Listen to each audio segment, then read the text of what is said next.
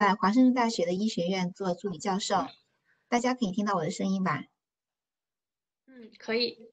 好，那今天呢，我们非常有幸邀请到王冠来帮我们，呃，就是导读一下有一篇特别有趣的研究，是由牛津大学团队做的。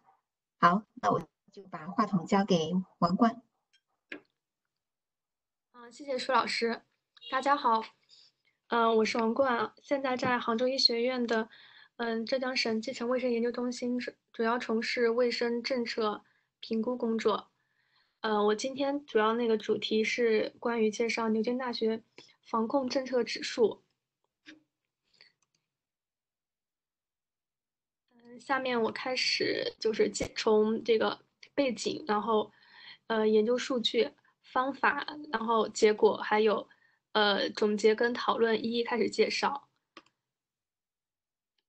嗯，因为呃它就是这个牛津大学。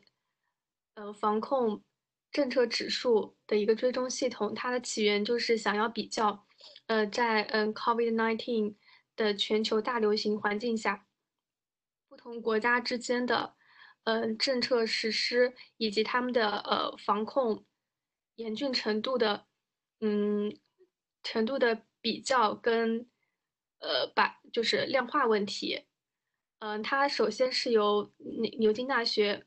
发起的一个，呃，这样这样的一个系统，呃，并且在这个基础上，呃，发展出了一些政策指数的这个评估，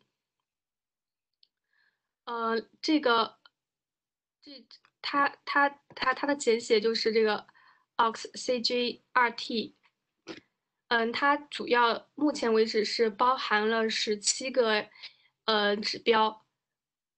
主要它分为三大块儿，第一个就是，呃，关于就是关闭一些场所 closure 和嗯 containment 限制，它其中有八个指标，就 C 一到 C 八。第二个的话是，呃呃，主要反映经济上的一个呃采取应对措应应对程度，呃，它有四个指标，就是 E E 一到 E 四。